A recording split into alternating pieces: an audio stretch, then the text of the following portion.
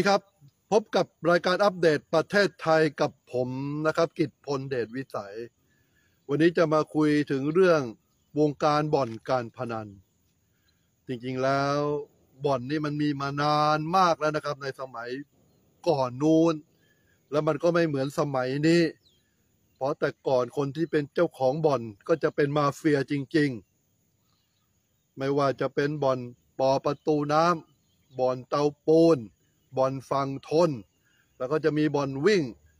ในยุคนั้นก็มีบอนของเฮียโสธนาวิสุทธ์โอเยอะแยะมากมาย และแต่ละบอนก็จะมีมือปืน อยู่ในนั้นมือปืนส่วนมาก ก็จะมาจากจังหวัดเพชรบุรี ซึ่งมาดูแลมาคุมบอนก็จะมีหลากหลายนะครับ ในการเข้าไปเล่นในบ่อน ยุคนั้นก็เป็นยุคที่เฟื่องฟูก็คือยุคของบาคาร่าบ่อนไหนที่เป็นบ่อนบาคาร่าก็ถือว่าเป็นบ่อนไฮโซ การเข้าไปเล่นในบ่อนนั้น มันเหมือนกับเวทีละครโรงใหญ่ คุณจะเป็นใครมาจากไหนก็ไม่รู้แต่คุณจะมีตำแหน่งใหญ่โตหรือไม่ก็ไม่ได้สนใจ ถ้าคุณมีเงินเยอะ เข้ามา คุณก็จะเป็นแขก VIP แต่ได้รับการต้อนรับอย่างดีได้นั่งข้างหน้า ถ้าท่านมาเขาจะมีจัดที่ให้นั่งข้างหน้า พูดถึงในโต๊ะบาคาร่า แล้วก็จะเป็นระดับชั้น ชั้นสองชั้นสามรองลงไปพวก คนธรรมดาอย่างผมก็จะอยู่ข้างหลัง เวลาจะแทงไปแทงไม่ได้นะต้องฝากต่อต่อๆกันแทง นั่นคือเวทีละคร เพราะว่าใครที่มาอยู่ตรงนี้ บางครั้งก็เป็นคนธรรมดา เป็นเจ้าของร้านเย็นตาโฟ เป็นเจ้าของร้านราดหน้าแต่เงินเยอะ เพราะว่าขายได้วันหนึ่งเป็นหมื่นหมื่นๆกำไรมากมาย และเป็นคนที่ชอบเล่น เข้ามาก็จะกลายเป็นเฮีย เฮียเตอร์เฮียน้อย เฮียต้อย ก็จะมีความสุขนะครับ อันนี้พูดให้ฟังคร่าวๆในสมัยสิบยี่สิบปีที่แล้วนะครับ ตอนนี้ผมก็ไม่รู้ว่าบ่อนมันเป็นยังไงหน้าตาเป็นยังไง ไม่ได้แวะเข้าไปเลย ตั้งแต่มาอยู่ที่พิษณุโลกนะครับ พิษณุโลกก็มีบ่อนนะครับ เดี๋ยวสายไหมต้องรอดคงจะมาพูดถึงว่ามีกี่บ่อน จริงๆ ไม่ต้องถามสายไหมต้องรอดหรอกครับ ถามผมนี่แหละ ผมจะรู้แล้วก็มีนักข่าวบางคน แอบอ้างเป็นขาใหญ่ คุมพิษณุโลกคือจ่ายเงินเขาคนเดียว เขาจะเคลียร์ให้นักข่าวทุกคนหมด ผมเป็นนายกสมาคมสื่อมาสิบกว่าปีไม่เคยได้เงินบ่อนสักบาทหนึ่งไอ้นั่นมันโม้มันอาศัยปอกคอมันถึงเป็นนักการเมืองชื่อดัง เดี๋ยววันหนึ่งใครอยากจะรู้มันเป็นใครแก๊งมันมีอยู่สามคน ที่ไปเดินสายหากิน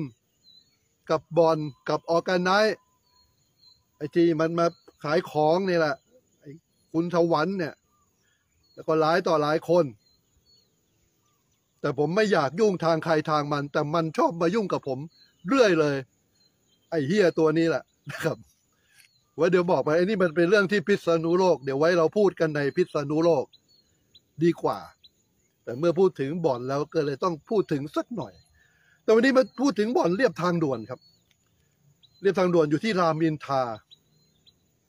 เจ้าของบ่อนก็คือคุณซาร่าก็มีเหตุการณ์ว่ามีนักเล่นกลุ่มหนึ่ง ก็ไปแจ้งที่เพจสายหมายต้องรอด ว่าเขาอะเล่นได้ แล้วบอลน่ะ เจ้าของบอลน่ะให้ลูกน้องอะ จับเขาไปเอาถุงคลุมหัว แล้วก็ไปรีดเงินคืนไป แล้วก็ปล่อยตัวไปปล่อยตัวไว้ เขาก็ออกมาแจ้งกลุ่มสายไหมเพจสายไหมต้องรอดก็เป็นเอาจริงเอาจังในเรื่องนี้ ที่ผมจั่วหัวข้อว่าสายไหมต้องรอด กลัวจะเป็นสายไหมไม่รอดนะครับ เพราะเหตุการณ์นี้มันกลับตลับ มันไม่ได้เหมือน แบบที่เราคิดนะครับ เพราะว่าทุกวันที่หนึ่งตุลาคมของทุกปีนะครับบ่อนทั้งประเทศไทยจะหยุดเหมือนกับว่า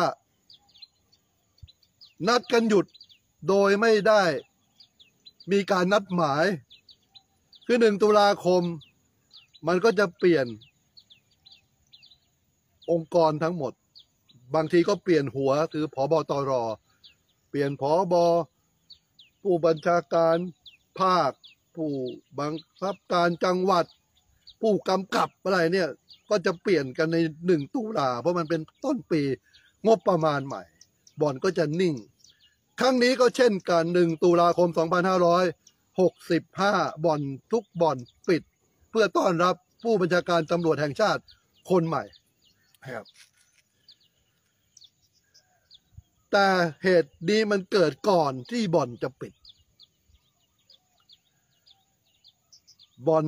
ของคุณซาร่าเนี่ยก็จะมีเป็นบ่อนขนาดกลางนะ ไม่ใช่ขนาดใหญ่ ไม่ใช่ขนาดเด็ก ตอนนี้ที่เขานิยมเล่นกันก็คือไพ่เสือมังกรแล้วก็มีกำถั่วมีไฮโร สมัยก่อนก็จะเป็นป๊อกป๊อกเด้ง เป็นไฮโร เป็นบาคาร่าอะแต่ตอนนี้ ที่ดังก็คือไพ่เสือมังกรคุณซาร่าเนี่ยเป็นคนสัญชาติเขมรนะครับดำเนินการมาประมาณเดือนเดียวเนี่ยแหละ ก่อนเกิดเหตุนะครับ ก็มีเซียนพนันเข้ามา ไอเซียนพนันน่ะที่ไปจ้างสายไหมต้องรอดเนี่ยเข้ามาเล่นในบ่อนเซียนกลุ่มนี้เขาเรียกว่าแก๊งก้าวกระเทย ซึ่งมีด้วยกันสิบคน ก็จะเดินสายโกง คือถึงขั้นว่ามีแบ็กลิสต์จากทุกบ่อนนะในนครบาลเนี่ย แบ็กลิสต์ว่าไอ้สิบคนเนี่ย ให้จับตาระวังนะ ถ้าเป็นไปได้อย่าให้มันเข้าบ่อน เพราะมันเข้ามาโกง วิธีโกงของมันก็ไม่ได้ยากเย็นอะไรเลย ก็รู้กันกับไอ้คนแจกไพ่อะคนแจกไพ่นี่เป็นเด็กในบ่อนนะ เป็นลูกน้องของเด็กในบ่อน โดยเฉพาะบ่อนเรียบทางด่วนรามินทาเนี่ย คนแจกไพ่ก็คือเป็นลูกน้องของคุณซาร่าเนี่ยแหละก็คนแจกไพ่รู้กับคนเล่นก็จบเลย มันส่งซิกกันได้สามวันเท่านั้นแหละครับ ไม่ใช่สามวันเดยมันเข้าเข้ามาทุกวันประมาณหกถึงเจ็ดวันนะครับ เจ้ามือเสียไปแปดล้าน เจ้ามือเสียแปดล้านก็คือบ่อนเสียไปแปดล้าน มันทำทุกวันมันเข้ามาทุกวัน แล้วมันไม่ได้มาแทงคนเดียว มันก็จะเป็นทีมเข้าใจไหมรุมกัน แก๊งมันก็แทงนู่นแทงนี่แทงนู่นไป พอมีการเสียแปดล้านก็ไปเปิดกล้องวงจรปิดดู ก็เห็นว่าไอ้ คนแจกไพ่ส่งซิก ก็จับมันมาเค้น จริงๆ ต้องเอามีดปาดคอมันให้ตายไปเลยนะ ถ้าเป็นสมัยก่อนนะ สมัยนี้มันคงคงทำไม่ได้ ก็มาเค้น ก็จนได้รู้ความจริง ก็คือเมื่อพอบอลของคุณซาร่านี่รู้ ก็รอรอเวลา ให้พวกนี้เข้ามา พ อมันเข้ามาปุ๊บก็เป็นการปิดประตูตีแมวครับ ก็เอาแบบที่มันว่าเนี่ยแหละจับไปเอาถุงคลุมหัวไปสอดไปเค้น แล้วก็เอาเงินคืนไปสองล้านบาท ก็แค่นี้เองแล้วมาปล่อย แล้วเขาก็ไปแจ้งเพจสายหมายต้องรอด จริง ๆ แล้วเหตุมันเกิดเดือนสิงหาคมนะลองคิดดู ว่าน่าจะเอะใจไหม สิงหาคม แต่เพิ่งมาแจ้ง ปลายเดือนตุลาคมเฮ้ยมันเกิดอะไรขึ้น สิงหากันยาตุลา ก็คือหลังจากเอาเงินคืนแล้วก็มีการต่อรอง เพราะไอ้แก๊งก้าวกระเทยเนี่ย มันใหญ่คงจะใหญ่มาก ๆ มันสามันคงจะมีคนใหญ่มาก ๆ สามารถเคลียร์กับไอ้เจ้าของบ่อน คุณซาร่าได้ คุณซาร่าก็เลยจะคืนเงินให้ จะได้จบจบไป ถ้าไม่คืนเงินจะโดนแฉนะ ปรากฏว่าก็ต่อรองกันก็คืนเงินไปบางส่วน ก็ส่วนน้อยเดียว แต่ทั้งหมดยังคืนไม่หมด คุณซาร่าก็ไม่ได้เจตนาโกงหรอก มันไม่มีเงินหมุนไงบ่อนมันก็ปิด บ่อนปิดแล้วก็ไม่มีตังค์อะ ก็เลยเป็นการผิดนัดไอ้กลุ่มนี้ก็เลยเอามาแฉโดยไปแจ้งเพจสายใหม่ต้องรอด เพจนี้ก็คือเป็นเครื่องมือเป็นเหยื่อของกลุ่มนี้ แล้วก็ดังระเบิดอย่างที่มันคิด ปรากฏว่าไม่ได้กระทบไอ้บ่อนนี้บ่อนเดียว มันกระทบบ่อนไป ไม่ใช่เฉพาะนครบาลกระทบไปทั่วประเทศเลย เพราะสายไหมต้องรอดเอามาแฉว่าในนครบาลมีร้อยกว่าบ่อน แล้วเดี๋ยวจะมีภาคนู้นภาคนี้ภาคนั้นอีก ผมก็เลยเกรงว่า สายไหมจะไม่รอด การที่ออกมาเปิดโปงแบบนี้มันเหมือนกับคนหลายต่อหลายคนนะซึ่งเป็นเน็ตไอดอลปัจจุบันนี้ที่แม่งมีชื่อเสียงอะที่แม่งแจ้งความจับคนนู้นแจ้งความจับคนนี้ออกมาด่ากันไปออกมาด่ากันมา ไอ้พวกเนี้ยมันใช้วิธีการคือแฉแล้วก็ไปตลบหลัง ตบซับเขา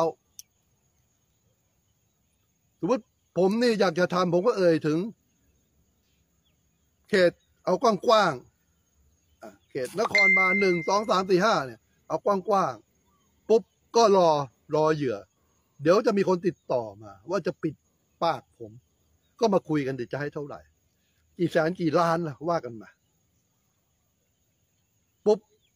พอได้ตังมาผมก็ไม่พูดถึง ผมก็ลืมไปเลย แล้วผมก็ไปหาเหยื่ออะไรใหม่ เหยื่ออะไรใหม่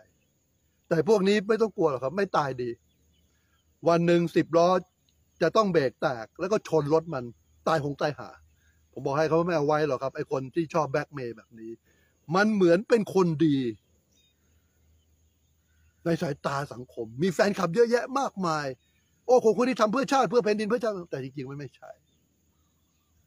นะครับแต่นี้ไม่ได้พูดถึงเพจสายไหมต้องรอดนะแต่ กลัวมันจะเป็นอย่างนี้ เพราะว่าเดี๋ยวก็จะมีเจ้าของบ่อนทั้งหลายทั้งปวงก็เชื่อมต่อมาอยังเจ้าของเพจเนี่ย แล้วก็บอกให้ปิดข่าวอย่าไปพูดเรื่องบ่อน ไปทำอย่างอื่นดีกว่าเพราะเขาเริ่มมาแฉไงนครบาลมีร้อยกว่าบ่อนเดี๋ยวเขาก็จะแฉว่า จังหวัดนู้นจังหวัดนี้จังหวัดนั้นเขาริมก็จะทบกันทั้งกระบวนการเลย เพราะจริงไม่ต้องแฉหรอกครับ คนที่รู้ดีกว่าเพจสายไหมต้องรอดคือตำรวจครับ การจะเปิดบ่อนตำรวจไม่รู้มันเปิดไม่ได้หรอก มันไม่มีทางจะเปิดได้หรอกตำรวจต้องรู้ใช่ไหมแต่ที่ผมไม่พูดถึงเพราะผมถือว่าคนเข้าไปเล่นในบ่อน กับเจ้าของบ่อนก็ก็เล่นกันไป มันก็ไม่ได้เดือดร้อนอะไรคนอื่น เพียงแต่บางครั้งมันก็จะมีปัญหา มีรถเข้ารถออกเดินไปเดินมามันน่ารำคาญสำหรับคนรอบๆข้างเท่านั้นเอง แล้วมันก็ไม่สามารถสแกนคนไปเล่นด้วยได้ด้วย ถ้าเป็นบ่อนที่ถูกต้องตามกฎหมาย เป็นคาสิโน มันไม่ใช่อยู่ๆจะเข้าไปเล่นได้ง่าย ๆ นะ มันก็ต้องมีกระบวนการต้องมีคือสแกนคนเข้าไปเล่น มันก็จะดี ดีกว่าตอนที่เป็นบ่อนแบบนี้ นั่นคือเรื่องที่ผมอยากจะพูดให้ฟังนะครับ แล้วก็เตือนเพจสายไหมต้องรอดด้วย ว่าต้องระวังเรื่องนี้ สิ่งที่คุณทำมาดีนะดีมากๆ ดีแต่มันก็สุ่มเสี่ยง อย่างครั้งเนี้ยคุณเป็นเครื่องมือของกลุ่มแก๊งก้าวกระเทย โดยปริยายไม่รู้เรื่องอะไรเลย ราะฉะนั้นการที่จะเล่นเรื่องไหน ต้องเอาให้แน่ ต้องเอาให้จริง ต้องรู้จริงในเรื่องนั้นๆนะครับ วันนี้ก็ต้องดูกันต่อไป ว่าจะเกิดอะไรขึ้น ถ้าเป็นสมัยก่อน แกงก้าวกระเทยนี่ไม่รอดแน่ที่ออกมาแฉโดยเฉพาะคนที่มาเปิดหน้ามาพูด นู่นพูดนี่ไม่รอดแน่ชีวิตอยู่ไม่เป็นสุขหรอกครับ ถ้าเป็นสมัยก่อนนะแต่สมัยนี้ผมไม่รู้ ก็ก่อนจากกันก็จะฝากไว้หน่อยหนึ่งนะครับ อันนี้ก็เป็นคำพังเพยคำโบราณ ว่าไฟไหม้บ้านสิบครั้ง ก็ไม่เท่า เจ้าของบ้านติดการพนันเพราะไฟไหม้บ้านที่ดินยังเหลืออยู่ แต่ถ้าติดการพนัน ที่ดินก็ไม่เหลือ ผมเคยเห็นลูกนั่งดูโทรทัศน์อยู่ แม่ลูกสามคนนั่งดูโทรทัศน์อยู่ เจ้าหนี้เข้ามาในบ้าน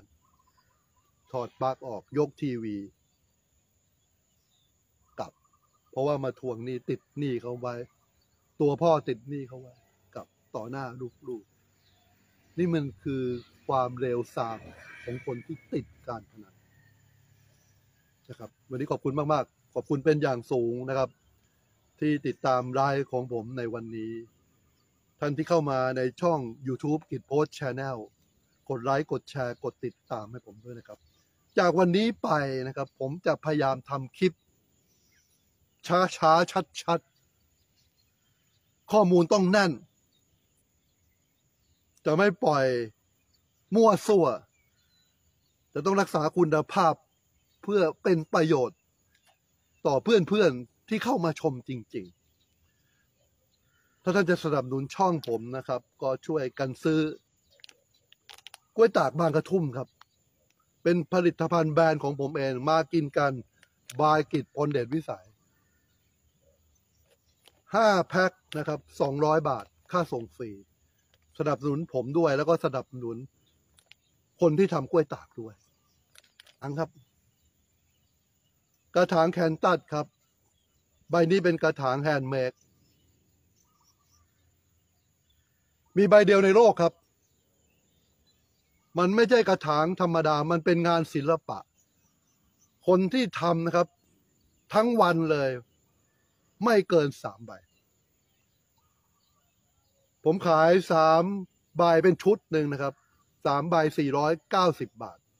ค่าส่งฟรี ถ้าใบเดียวก็ร้อยเก้าสิบบาท ค่าส่งฟรีถ้ากล้วยตากก็สั่ง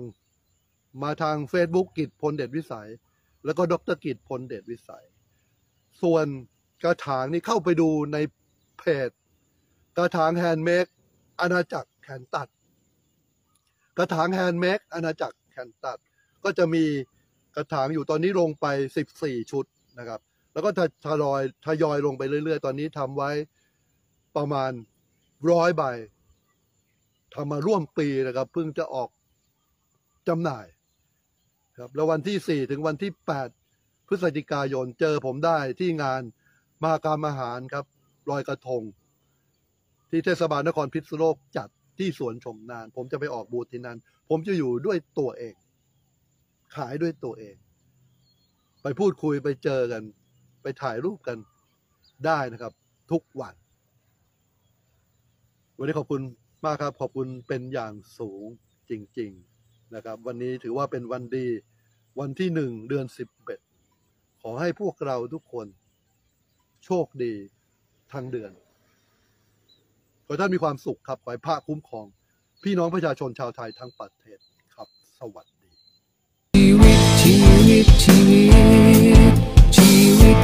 เราต่างกัน ชีวิตที่เรียบง่ายนั้น ผู้ชายชีวิต